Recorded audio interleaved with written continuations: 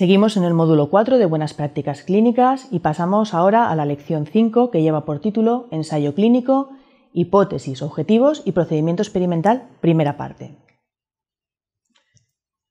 Dentro del ensayo clínico eh, que versa sobre la cirugía de cataratas y de la presbicia, vamos a tratar los dos apartados de hipótesis y objetivos y procedimiento experimental. ¿Qué solución plantea la medicina actual para las cataratas y la presbicia? Pues en principio para las cataratas la medicina actual eh, plantea una cirugía en la que se extrae el cristalino, que es la lente que está opacificada y que no funciona y no nos deja ver bien, y se introduce un implante de una lente intraocular limpia, clara y cristalina que nos permite ver bien al menos de lejos.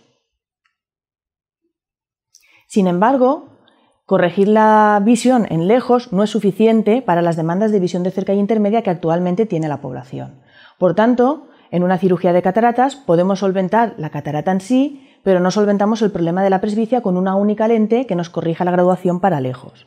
Eso implica que junto con la lente hay que sumar unas gafas de cerca o unas gafas multifocales o progresivas que nos permitan ver bien a todo el resto de distancias de observación, ya que la lente en sí no compensa la presbicia, no hace el efecto del cristalino. ¿Qué es lo que sucede? Pues que actualmente cada vez las personas prefieren llevar menos las gafas. Y ese hecho hace que las industrias farmacéuticas se planteen la construcción de nuevas lentes intraoculares que sean multifocales o que permitan ver bien a todas las distancias de observación de tal manera que una vez implantadas no necesiten llevar gafas fuera. Estas lentes multifocales intraoculares que existen actualmente en el mercado funcionan relativamente bien, pero a la hora de la verdad cubren bien la visión de lejos, la visión de cerca en un rango amplio de distancias, pero sigue quedando una visión intermedia que no se cubre. Una visión que suele estar entre los 50 centímetros y los 2 metros de distancia de observación.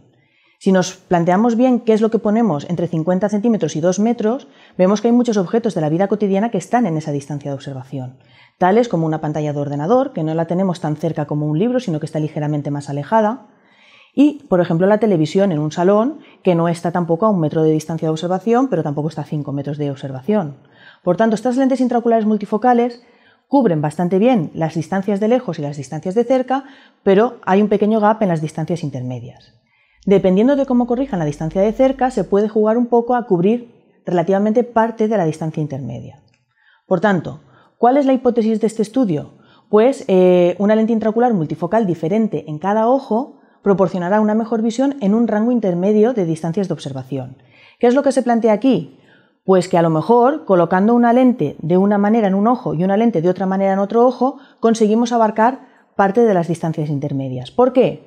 Porque las lentes intraoculares que se van a implantar van a ser, las dos van a corregir de lejos de manera igual, pero a la hora de corregir de cerca, una va a corregir de muy cerca y la otra va a corregir de menos cerca. Es decir, va a cubrir un rango de intermedias que una de las lentes no va a cubrir. Entonces, se presupone que con estas dos lentes el paciente va a poder ver más rango de visión que si ponemos las dos lentes iguales en ambos ojos. Por tanto, el objetivo de este estudio es valorar la mejora de visión de pacientes implantados con esta técnica. Y para ello serán dos grupos de, de pacientes, uno en el que se implantarán las dos lentes iguales en ambos ojos y otro en el que se implantará esta técnica, un ojo con una lente y otro ojo con otra lente que permite otro rango de distancias intermedias de visión. Para hacer esto, lo primero que hay que hacer es eh, pasar un comité ético de, la propia empresa que va a llevar a cabo el estudio. De hecho, la empresa externa propone el estudio y esto pasa al comité ético, el CEIC de la empresa, el propio de la empresa, que una vez da su aprobación, hace que se pueda conformar el equipo de investigación que va a llevar a cabo el estudio. Este equipo investigador va a estar formado por el investigador principal, que es propio del centro donde se va a realizar el estudio, un coordinador del estudio que va a ser el encargado de eh, elaborar las medidas y de controlar que se recogen correctamente, y luego un personal de recogida de datos que va a ser el que propiamente trabaje con el paciente. Los equipos investigadores y los rangos que están establecidos dentro de ellos tienen unas funciones muy claramente definidas y no siempre son intercambiables. Por ejemplo, un coordinador de estudio no puede hacer las funciones de investigador principal, ya que el investigador principal es el que toma todas las decisiones importantes respecto al ensayo clínico en este caso, pero un coordinador del estudio sí que puede ser personal de recogida de datos y puede coger los datos de los pacientes sin ningún tipo de problema. Sin embargo, personal de recogida de datos, por ejemplo, no puede actuar de coordinador de estudio, que es el que está en contacto con la empresa promotora y con el investigador principal. Para controlar este estudio en concreto, la empresa promotora eh, farmacéutica privada lo que hizo fue contratar o subcontratar a un monitor de otra empresa que venía a controlar cómo se estaban tomando los datos. ¿Cuáles son las funciones del monitor, las que tiene que llevar a cabo para controlar que el estudio se realiza correctamente?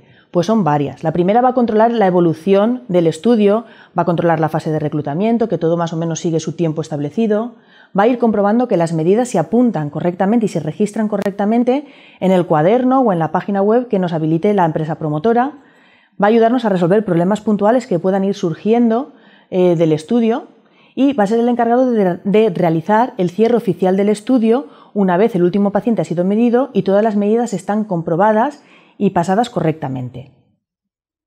Con esto terminamos la lección 5 del módulo 4.